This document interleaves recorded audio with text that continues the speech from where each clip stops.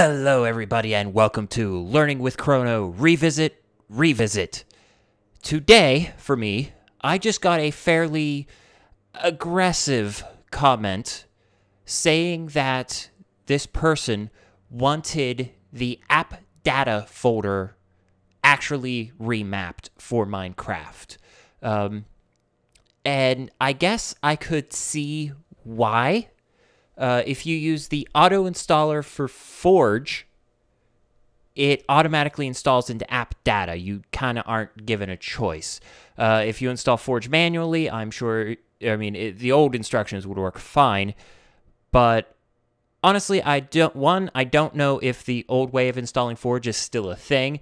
And two, this uh, this piece of information can actually extend beyond just Minecraft itself, so it might actually turn out to be useful for other people as well. Probably not for this person because this person's probably never coming back to my channel after what they said, and I'm okay with that, honestly. But here it is. Other people might find it useful, so I'm going to go through it. Now, I did not want to actually do this because we're going to be fiddling with Windows settings a little bit, and it might be a little weird. It might get a little weird, and uh, but that's what happens when you start fiddling with system-wide settings for one program. It's a little complicated. So if we remember the first time I changed, we I walked you through changing the Minecraft installation. We created a batch file that set the app data variable to wherever we wanted it.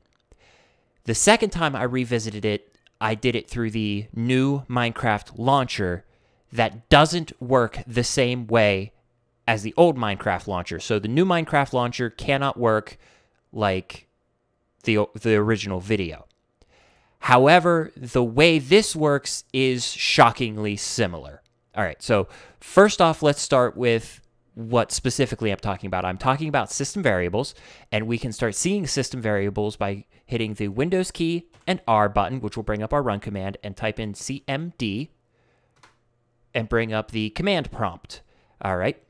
If we type in set, just SET, and hit enter, it will show all of the system variables and a lot of information, basically pieces of information about your processor, Foxit.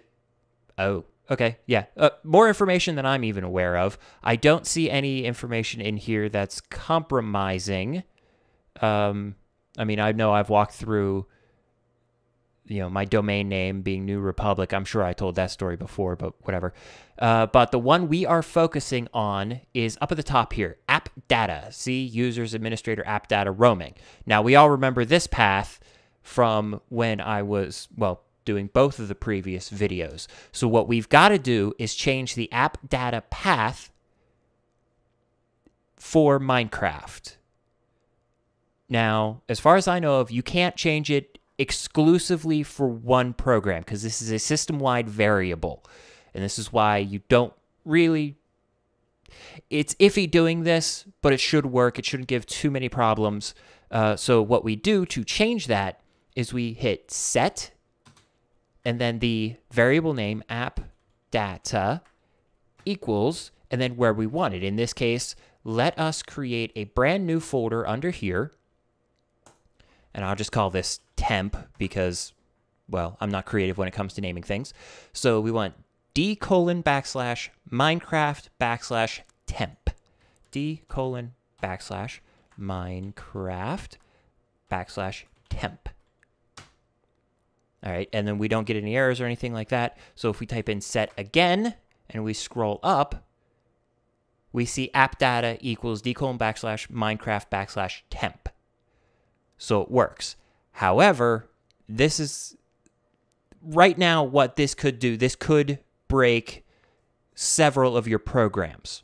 Okay, I'm, I'm just going to say that straight up. It is possible to break programs doing this, which is why I kind of wanted to avoid this but it shouldn't be too much problem because as we see here, right now it's pointing to the D drive. If I close the command prompt and reopen it and type in set again and scroll up, we see that the app data went right back to its default.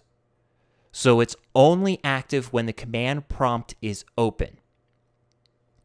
So how do we fiddle with that? Well, it's a simple batch file.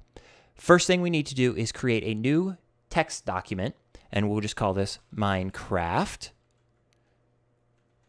Let me capitalize that because I'm picky. A little bit anal retentive.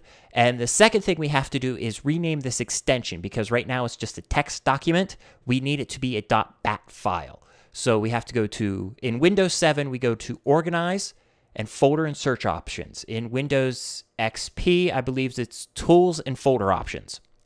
Uh, but Vista 7 and I believe Windows 8 are all the same, uh, where it's just Organize, then Folder and Search Options. We go to View, and then uncheck the hide extensions for known file types. Now, if you're using a previous version of Windows before Windows XP, like Windows 2000, um, how are you playing Minecraft? Is that even possible? I don't know. I never tried. But uh, the hide extensions for known file types is unchecked by default. This started with XP and above. So we just hit OK, and then we see all our extensions. We see minecraft.exe, we see minecraft.txt. So we need to rename this to .bat. So makes it a batch file. Yes, it'll complain about changing the file extension. You may break something, blah, blah, blah, blah, blah. We know what the file is. We know what's supposed to do. Changing it's fine.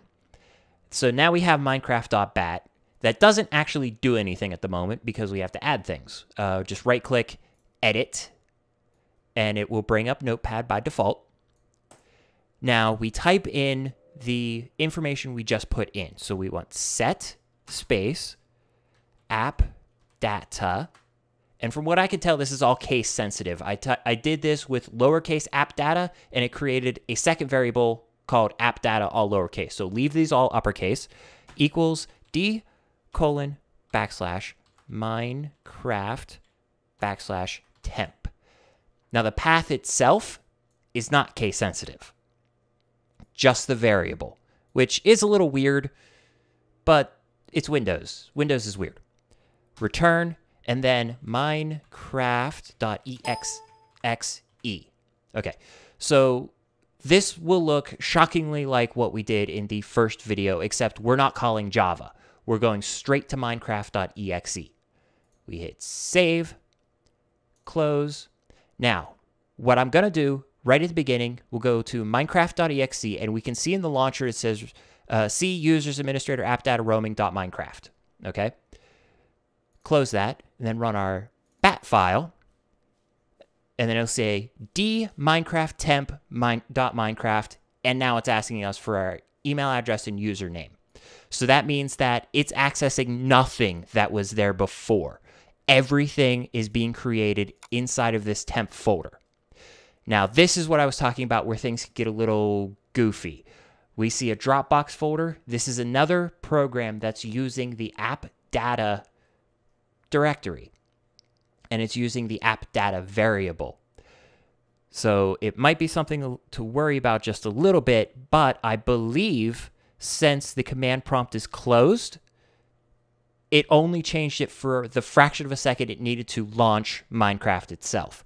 But we can find that out fairly quick by going into our run again, typing in percentage app data, percentage, enter. And it gets us to administrator app data roaming.